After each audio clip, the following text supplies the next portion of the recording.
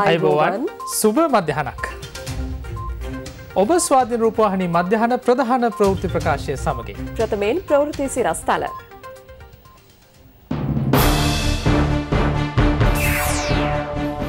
අද මධ්‍යම රැයෙන් පසු විවාහ උත්සවයට කිසිදු ඉඩක් නැහැ. රෑ දහයට යළිත් ඇඳිරිය. කොරෝනාවට එරෙහි එන්නත අදත් විදිද්දී කොරෝනා පොකුරත් තුන් ලක්ෂ හැට දෙදහස පනී. රෝගයාට ජීවයගෙනෙන ඔක්සිජන් අරංගෙන්න ශක්ති ඉන්දියායයි. කෝවිඩ් දහ නවය විශේෂ විධවිධාන පනත පාර්ලිමේන්තුවේදී විවාදයට. අධිකරණයේ ස්වාධීනත්වයට කිසිදු ඇගිලි ගැසීමක් නැහැ. අධිකරණ ඇමති සබ්‍රී සහතික වෙයි. කිරිබත් ගොඩ ගොඩනැගිල්ලක ගින්නක් දරුවන් ඇතුළු දොළහක් බේරාගෙනේ. ඇෆ්ගනිස්ථානය විදෙස් හමුදා ඉවත් කරගන්නගත් තීරණය කාලෝචිතයි. ඇමරිකා ජනපති බයිඩන් කියයි.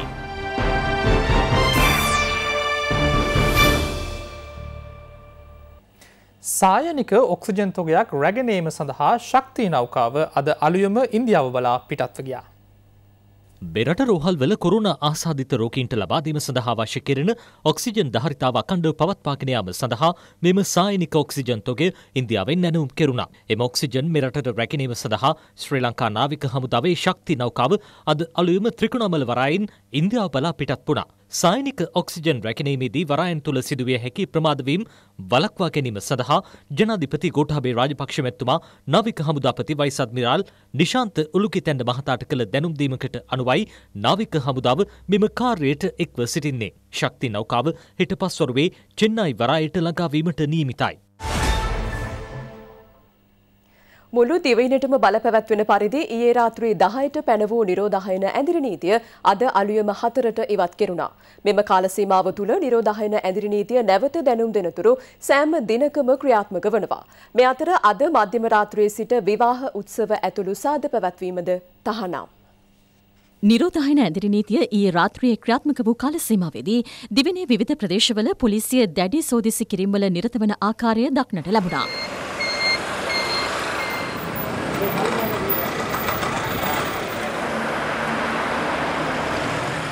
දහයින් පස්සේ ඇඳිලි දාලා තියෙනවා කියලා. කොහෙද ගියේ මේ ළමයි එක්ක? පෙට්‍රෝල් ගාගෙන යනවා. ඇයි 10ට කලින් ඒ දේ කරගන්න බැරුණාද? බලන්නකො පෙට්‍රෝල් ගහන්න යන්නේ මේ පොඩි ළමයිනුත් දාගෙන.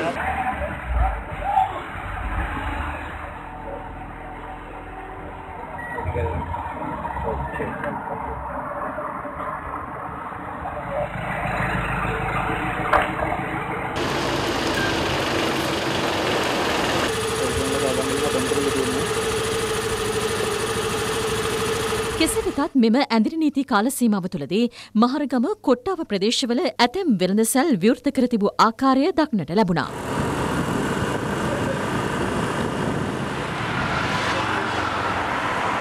ඇදිරි නීතිය තියෙනවා කියලා දන්නේ නැද්ද 10 ඉඳලා 4 වෙනකන්? දන්නේ. අත් දන්නේ නැහැ. පොලිසිය මුකුත් ඇවිල්ලා කිව්වේ නැහැ. නෑ තාම දැනුවත් නැහැ. හො හො හො හො. කාට වහන්න නැද්ද? කාට වහන්න නීතිය කියලා දන්නේ නැහැ. ආ? කොවිඩ් ව්‍යාප්තිය හමුවේ පිට පළාත්වලින් සේවකයින් ගෙන්වා ගැනීම හැකිතාක් අවම කරන ලෙස යුද හමුදාපතිවරයා ආයතන ප්‍රධානීන්ගෙන් ඉල්ලා සිටිනවා. පලාත් අතර රැකියාවට යන ඇවුලුන් සම්බන්ධයෙන් මේ වන විටත් ආයතන ප්‍රධානින්ට අපි දැනුම් දීලා තිබෙනවා. පිට පලාත් වලින් තමුන්ගේ රැකියාවලට ගෙන්වා ගැනීම පුළුවන් තරම් මේ සති තුන හතර කාලයටවත් එවැනි අයවලුන් පිට පලාත් වලින් රැකියාවට ගෙන්න ගන්න නැතුව ඉන්න කියලා මේ අතර නිරෝධායන නීතින් උල්ලංඝනය කිරීම සම්බන්ධයෙන් ගත වූ පැය විසි හතර තුළ පුද්ගලයන් දෙසිය හැත්තෑ හත් දෙනෙකු අතනංගුවට ගෙන තිබෙනවා. මුකාවරණ නොපැළඳීම සහ සමාජ දුරස්ථ භාවය පවත්වා නොගැනීම සම්බන්ධයෙන් මොවුන් අතනංගුවට ගත් බවයි පොලිස් මූලස්ථානය සඳහන් කළේ. එම මෙහිුම් තවදුරටත් දිවයින පුරා අකණ්ඩව සිදු කෙරෙන බවද පොලිස් මූලස්ථානය වැඩිතුරටත් සඳහන් කළා.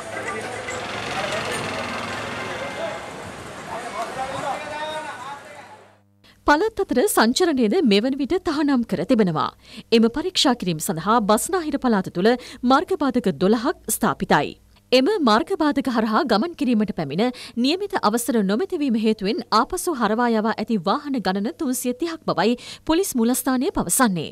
එමෙන්ම පුද්ගලයන් හයිසිය තිස් පස් දෙනෙක්ද එලෙස අවසර නොමැතිවීමෙන් ආපසු හරවා යවා තිබෙනවා.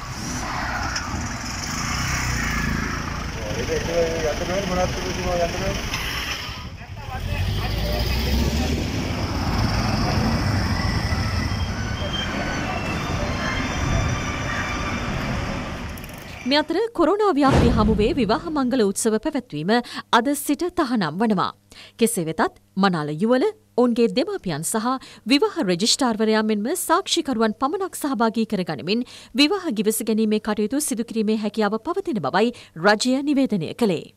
මිට ප්‍රධානම හේතු වූයේ අපි සෑම අවස්ථාවකදීම රජය උත්සාහ කරා අවම කරමින් එකසිය පණහාකට සීමා කිරීමට පසුව පණහකට සීමා කිරීමට නමුත් මේ සම්බන්ධයෙන් ලැබෙන ප්‍රතිචාර ධනාත්මක නොවන ආකාරයෙන් ජනතාව බහු වැඩිපුර සක් පිරිසක් මේ ආකාරයෙන් විවාහ මංගල උත්සවවලට සහභාගී කර ගැනීම හේතුවෙන් කොවිඩ් පැතිරයාමක් ඒ විවාහ මංගල මාර්ගයෙන් ඇතිවීමට කටයුතු සිද්ධ වුණ හින්දා තමයි විවාහ මංගල උත්සව සහ සියලුම සාද අද රාත්‍රියේ 12න් පස්සේ කිරීමට අවසරක් නැහැ. ඊයේ දිනේ අපේ රටෙන් අලුතින් කොරෝනා ආසාධිතයින් තුන්දහස් හාරසිය හැට හය දෙනෙකු හමුවුණා. ඒත් සමඟ සමස්ත ආසාධිත පිරිස තුන් ලක්ෂ හැට දෙදහස ඉක්මවා ගියා. කොරුණාවට එරෙහි එන්නත් කරන වැඩසටහන්ද අදත් ක්‍රියාත්මක වනවා. කුමන හෝ එන්නතක පළමු මාත්‍රාව ලබාගත් පිරිස එක්කෝටි දහ නවලක්ෂය ඉක්මවා ගියා.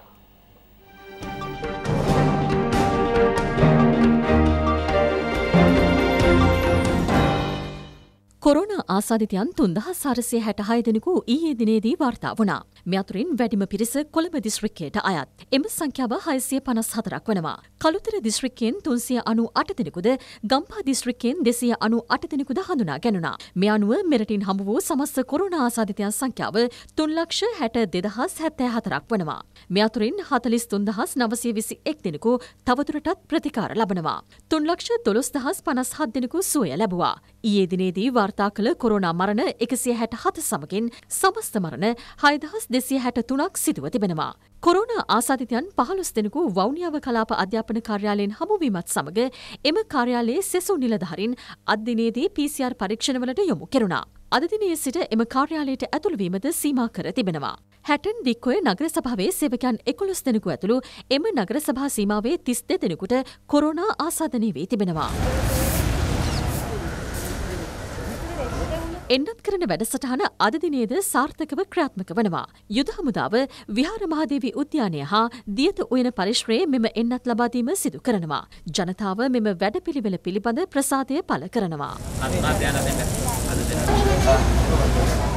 යුද හමුදාවේ ජංගම එන්නත් කරන වැඩසටහන අද දිනේ ක්‍රියාත්මක වන්නේ වත්තල, මාබෝල, කදාන, ජායල, ගම්පහ, සීදුව, කටුනායක යන ප්‍රදේශවලයි. එමෙන්ම මීගමුව, කටාන, කැලණිය, සපුගස්කන්ද, කිරිබත්ගොඩ, මීගහවත්ත, බියගම, දොම්පේ, රාගම, වැලිසර හා ගණේමුල්ල යන ප්‍රදේශවලද අද දිනේදී ජංගම එන්නත් කරන වැඩසටහන ක්‍රියාත්මකයි. මේ අතර ඊයේ දිනය වන විට කොවිශීල්ඩ් එනතේ පළමු මාත්‍රාව ලබාගෙන සිටි පුද්ගලයන් ගණන දහතුන් ලක්ෂ හැත්තෑවක්. අටලක්ෂ හැත්තෑ දෙදහස් හයිසිය හැට හතක් එහි දෙවන මාත්‍රාව ලබාගෙන තිබෙනවා. සයිනෆා මෙනතේ පළමු මාත්‍රාව පුද්ගලයන් අනු හතර ලක්ෂ පනස් පන්දහස් නවසිය හැට අට දෙනෙකු හා දෙවන මාත්‍රාව තිස් නවලක්ෂ විසි හතර දහස් අටසිය දහ නවදෙනෙකුට ලබාදීමටයි පියවරගෙන ඇත්තේ. ස්පුට්නික් එනතේ පළමු මාත්‍රාව එක්ලක්ෂ පනස් නවදහස් අසු එක් දෙනෙකුට හා දෙවන මාත්‍රාව මාත්‍රාව දාහතර දහස් පන්සේ දාහත් දෙනෙකුට ලබාදී ඇති අතර ෆයිස එන්නතේ පළමු මාත්‍රාව ලබාදී ඇති පුද්ගලයන් සංඛ්‍යාව දෙලක්ෂ පනස් දෙදහස් තුන්සිය හැත්තෑ හතරයි. එහි දෙවන මාත්‍රාව තිස්සය දහස් හාරසිය හැට අට දෙනෙකුට ලබාදී ඇති අතර මොඩන අයන්නතේ පළමු මාත්‍රාව මෙදක්වා පුද්ගලින් හත්ලක්ෂ හැට පන්දහස් හාරසිය හතලිස් එක් දෙනෙකුට ලබාදී ඇති බවයි වසංගතරෝග විද්‍යාංශය සඳහන් කළේ. මේ අනුව කොරුණා මර්ධනයට එරෙහි කුමන හෝ එන්නතක පළමු මාත්‍රාව ලබාගත් පිරිස එක්කෝටි දහ නවලක්ෂ තිස් දෙදහස් නවසිය තිස් හතරක් වනවා. එහි දෙවන මාත්‍රාව හතලිස් අටලක්ෂ හතලිස් අටදහස් හාරසිය හැත්තෑ එක් දෙනෙකු ලබා ගත්තා. විපක්ෂය කුමන චෝදනා එල්ල කරද එන්නත් කරණය සාර්ථක කර ගැනීම රජයේ අපේක්ෂාව බව පාර්ලිමේන්තු මන්ත්‍රී සහන් ප්‍රදීප් මහතා පවසනවා. මහර කොරෝනා මර්ධන කමිටුව හමුවේ ඒ මහතා මේ බව ප්‍රකාශ කළා. පක්ෂයට සහ පිටින් බලාගෙන ඉන්නයට ඕන තරම් විවේචන කරන්න පුළුවන්. හැබැයි මහ පොළොවේ මේක ක්‍රියාත්මක කරන අය තමයි ඒකේ අමාරුකම දන්නේ. නිසා අපි විශේෂම ස්තුතිවන්ත වෙන්න ඕනේ යුද හමුදාපතිතුමා ඇතුළු ඒ කාර්ය මණ්ඩලවලට විශාල කාර්යයක් කරන රට වෙනුවෙන්. එන්නත් කරණය පවා අද කරදරකින් තොරව මිනිස්සුන්ට ලබා දෙන්න පුළුවන්කම ලැබිලා තියෙනවා. එතුමන්ලා කරන සේවය අගය කිරීම වෙනුවට විපක්ෂය කරන්නේ චෝදනා කරන එක. ඒක ඉතිහාසයෙන් නම් කළා. ඒ නිසා අපි පැහැදිලිවම කරනවා යුද හමුදාපතිතුමාගෙනුත් ඉල්ලීමක් කරනවා. ඒ සෙබළුන්ගෙනුත් ඉල්ලීමක් කරනවා මේ වෙලාවේ. ඒවට සැලෙන්න එපා. රටේ ජනතාව ඔබතුමන්ලත් එක්ක ඉන්නවා කියන එක අපි කියනවා. බෝවන හා බෝ නොවන රෝගවලින් මිදීම සඳහා පුරාණ ඍෂිවරුන්ගේ ඖෂධ වට්ටෝරු ඇතුළත් ඉශිවර පුරාණය නැමති ග්‍රන්ථය රාජ්‍යමාත්‍ය සිසිර ජයකුඩි මහතා වෙත පිරිනැමුණා. යටියන්තොට මහවිල වෙද මහතා මෙම ග්‍රන්ථය රචනා කර තිබෙනවා.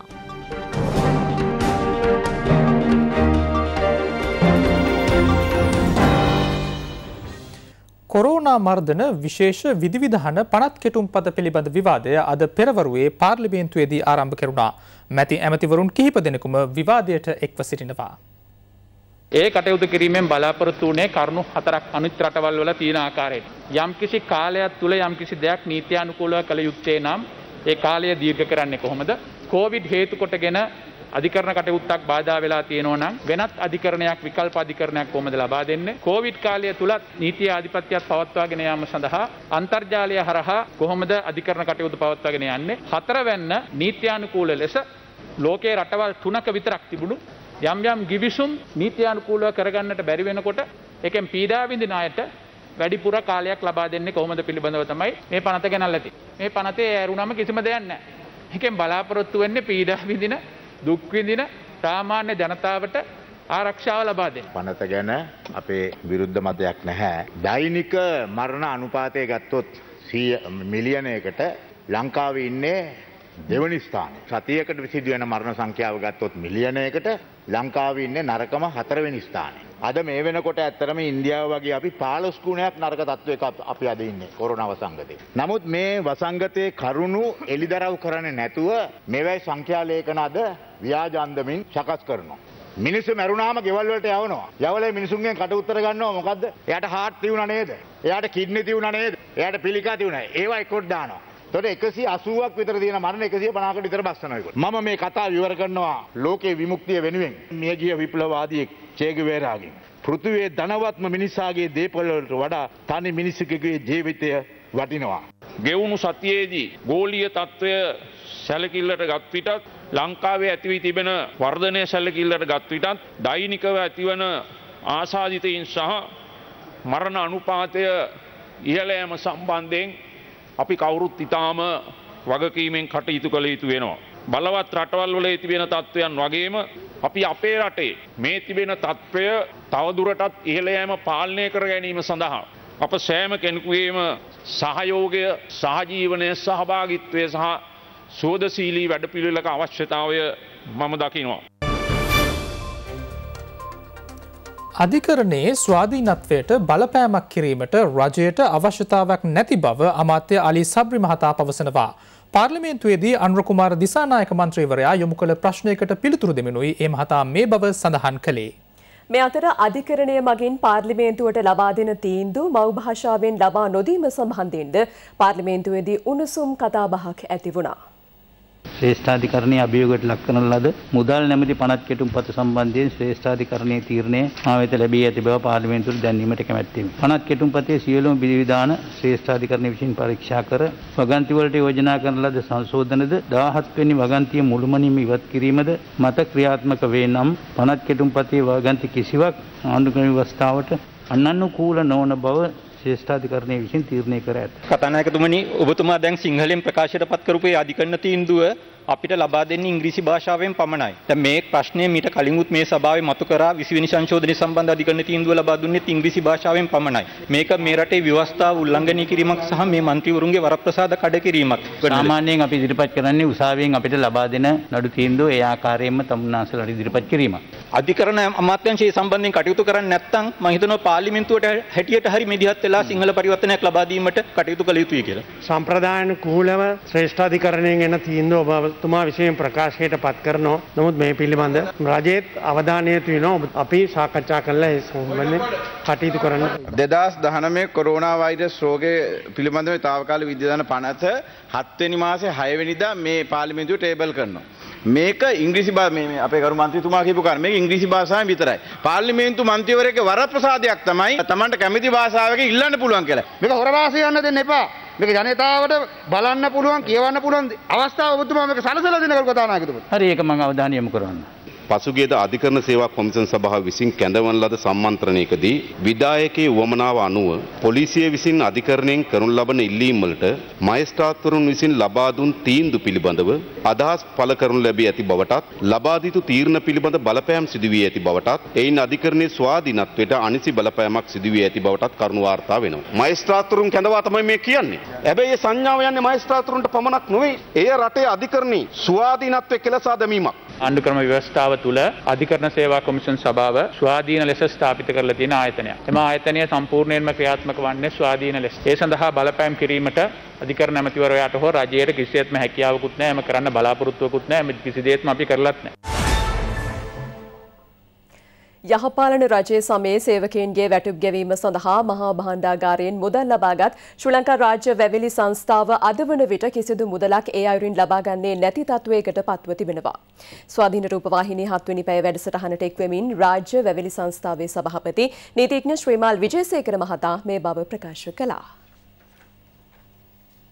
අලාභ ලබපු ආයතනයක් ලාභ ලබන තත්වයට ගෙන යන්න ඕනේ. බොහොම කෙටි කාලයක් තුළ සාර්ථකත්වයට පත් වෙන්න ඕනේ. මොන වගේ අභියෝගද තිබ්බේ? විශාල අභියෝග තිබුණා නජිත් මම බාර ගන්නකොට 2019 වර්ෂය වෙනකොට මිලියන 329ක් පාඩු ලැබපු ආයතනයක්. සාමාන්‍ය විදියට මාසිකව මිලියන 20ක පමණ පාඩුවක් තිබුණා. මොකක්ද හේතුව ඒ කාලේ අලාභ ලබා? පළවෙනිම කරුණ හැටියට මම දකින්නේ ඒකේ විනිවිදභාවයකින් තොරව සහ නිසි කළමනාකාරීත්වයක් නොමැති. ඒ වගේම තිබෙන සම්පත් වලින් ගන්න පුළුවන් උපරිම ප්‍රයෝජන නොගැනීම. අනිත් කරුණ තමයි ඒ පිළිබඳව ඍජු අධීක්ෂණයක් කළමනාකාරීත්වයේ නොමැතිවීම. මෙන්න මේ දේවල් තමයි මේ කෙටි කාලය තුළ ඇති කරේ මේ ආයතනය රාජ්‍ය ආයතනයක් මේක ජනතාවගේ ආයතනයක් මම එන්න කලින් වැටුප් ගෙවීම් පවා සිදු කිරීමට මහා භාණ්ඩාගාරයෙන් මුදල් දීලා තිබුණා.